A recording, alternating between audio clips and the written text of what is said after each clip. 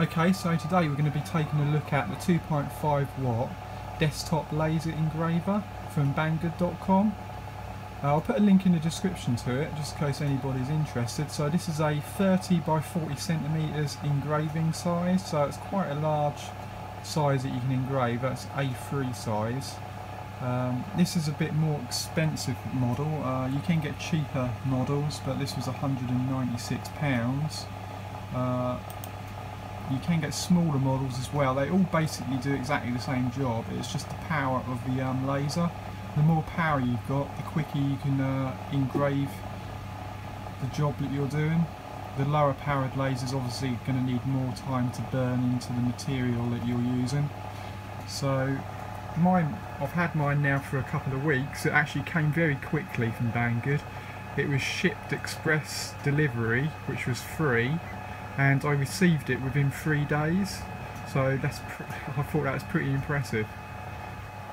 And so here's my model. I've actually built a enclosure for it with a extractor fan in it to uh, remove the um, smoke fumes. And I've also put a light inside but that's the actual unit. Now this is a self-assemble unit so you need to actually assemble it yourself and uh, Banggood have got a video for this and I found it pretty simple to put it together.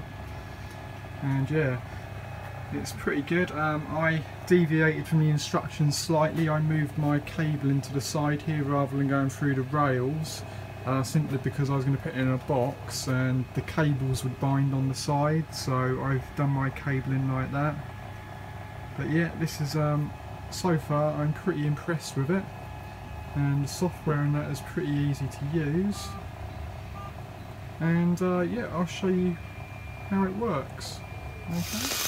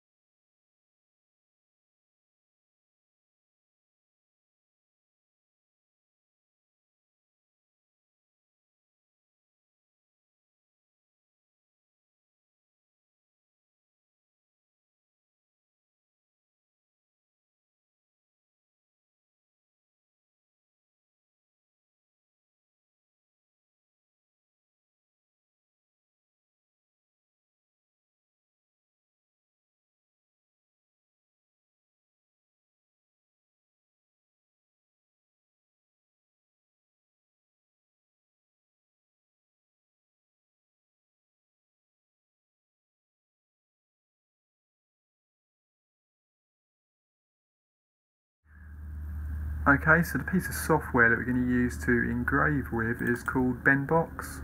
Uh, this is a pretty simple piece of software to use. Uh, if anybody needs any help with it, because it can be a bit tricky to sometimes work out.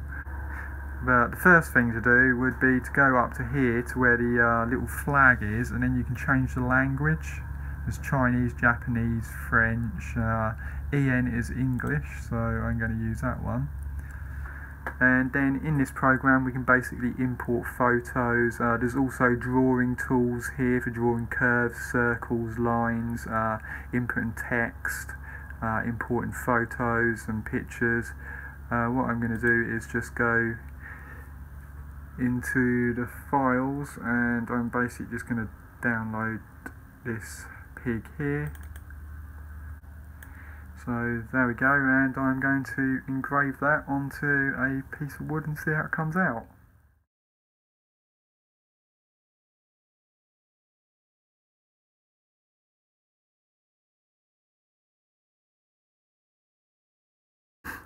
Okay, so I've just quickly sketched this up and I'm going to cut it out in an A4 sheet of paper. Okay.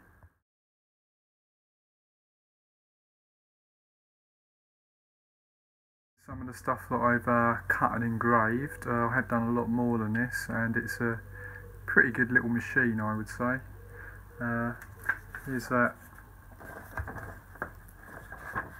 Jace's laser engraver which I engraved on here. It has went through just about but I didn't want it to go through because I wanted it to all stay together so I could show you. I mean you could engrave this on wood, leather, uh, card, um, dark uh, black acrylic or dark black plastic you could engrave this on quite easily. And then also I've done this stencil one here.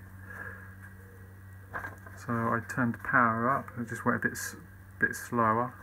Had it on high power to cut all the way through so I can use it as a stencil. I'm going to do one two times the size of this so I can uh, use a stencil on the outside of the laser engraver and print it.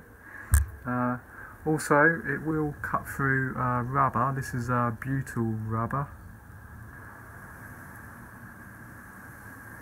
I think that's about 2 mil in thickness, or just around about. It will cut through butyl rubber anyway. Uh, it will cut through 3 mil plywood. I have cut through 3 mil plywood with it, but I haven't got any left, so uh, this was 3.6 and it got 3 millimeters through the uh, 3.6 mil plywood so it is capable of cutting plywood as well.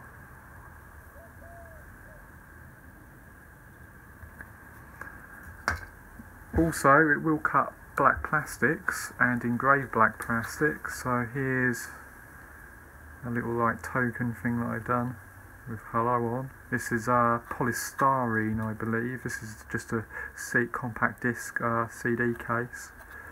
I think it's polystyrene. Uh, yeah, it's got PS and then a recycle bit 6 on there, so it is a polystyrene. But yeah, we'll easily cut those. These are like three passes to cut through. Uh, also, it will cut leather. I have cut leatherette with it, but this is uh, quite reasonably thick leather. This is about 3 mil thick, and it did basically cut all the way through, but there's a through, but there's a few strands of leather around the edge that weren't cut.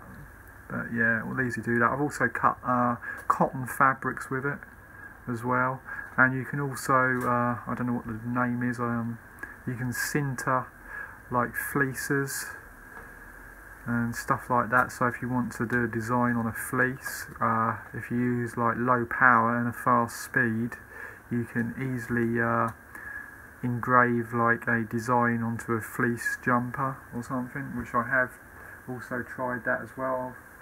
I'll put a clip in this video if I can also.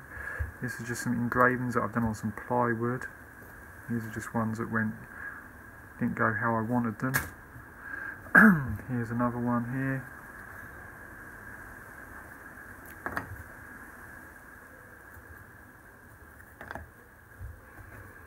And here's that fallout clip art I done, came out nice and has that Celtic design. Also it will do some quite fine engraving as well. Now these lines on here are less than a millimetre in thickness in places so it will do some quite detailed uh, stuff if you've got the time to put you know make some nice artwork your own artwork whatever it will. It will um, engrave quite fine detail so yeah it's quite a decent machine overall and I'm pretty happy with it I've got to say. Yep so that's it. Thanks for watching and I'll see you next time. Bye